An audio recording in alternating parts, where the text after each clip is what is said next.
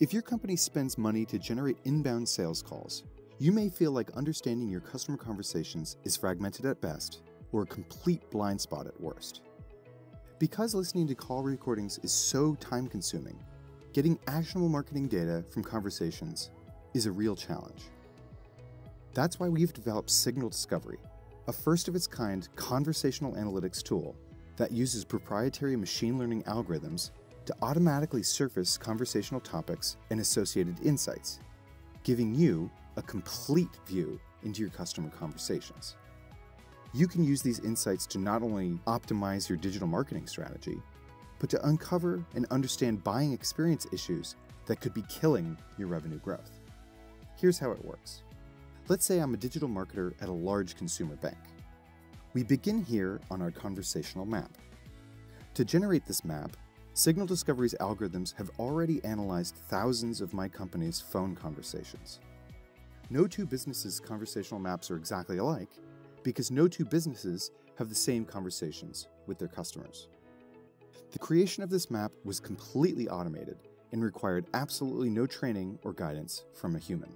What's displayed are the most common topics of conversation taking place between my contact center agents and my customers, with each bubble representing a unique topic. These topics are numbered 1 through 81. At this point, each topic is represented by a number because the system doesn't yet know the significance of each topic. That's for me to decide.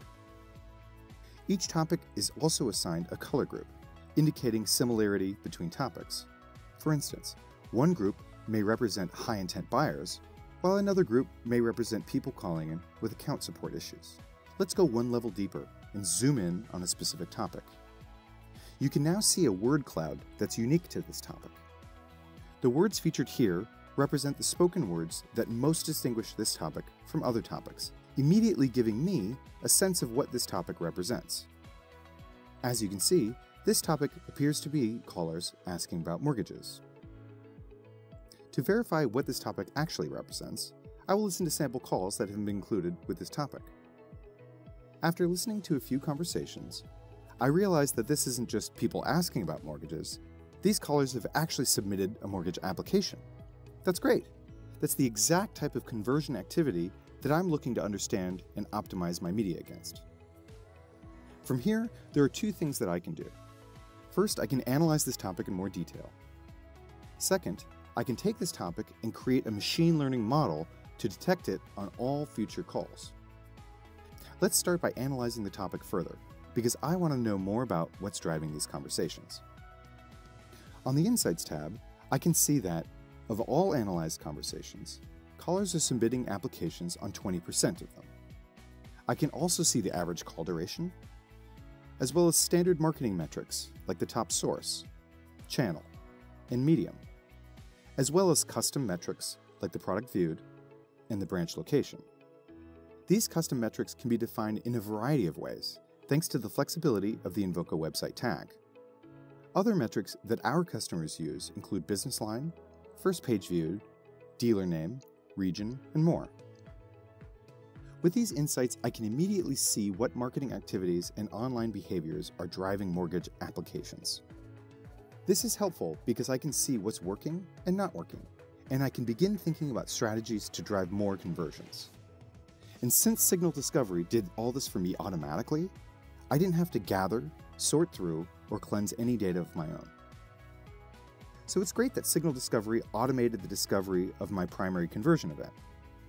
But one of the best things about Signal Discovery is discovering those common topics of conversation that I didn't know were happening, but I really should be tracking. Let's find another topic to see an example. When I click into this one, I can see that this is likely callers asking about account fees and late payment fees. Most likely, we have customers trying to reverse a charge or understand why they're being charged a fee. Okay, so these aren't exactly the type of conversations that I, as a marketer, am trying to drive. But maybe there's some value here. Looking at these insights, I can see that not only are these conversations happening frequently, on 20% of all my calls, but I can also see that I'm spending a lot of my paid media budget driving these calls. As you can see, nearly 24% of these calls were preceded by a paid search ad click. Well, this is something that I want to investigate further. My next step would be to understand why I'm bidding on these keywords that are driving these types of calls and how I can reduce that. After all, I want every single paid media dollar driving revenue, not helping people contact customer support. Let's look at one more. Here's an example of my customers calling in and leaving voicemails. Now, in the past, I might have thought of this as a customer experience issue that really isn't affecting my marketing priorities at all. But if I look at these insights, I can see that a lot of these calls are being driven by my recent Turn Your Home into Your Dream Home advertising campaign. Now, this is an issue that I care about. My campaign is driving customers to call in, but when they do, a lot of them are going to voicemail. This is an issue that might make or break the success of my campaign. And when I look at this in even more detail, I can see that a few of my regional branches are accounting for a good portion of these voicemails. Perfect. This gives me the data I need to address this issue as soon as possible.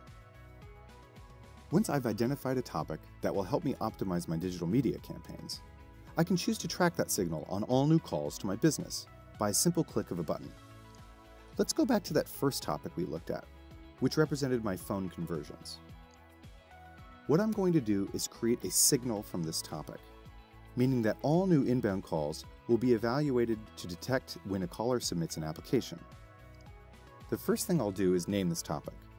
I'll call it Mortgage Application Submitted.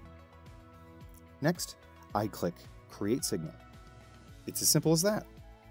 This signal is now live alongside any other Signal AI, keyword spotting, or call duration signals that I may have created in the past. Once a discovery signal is created, I can activate this data in the rest of my marketing systems. For instance, I can automatically push new call conversions into platforms like Google Ads, Bing, Facebook, and Adobe Experience Cloud to finally see accurate online and offline reporting, optimize my campaigns, and build digital audiences for targeting and suppression. And remember, this data is being generated and pushed into these platforms in real time.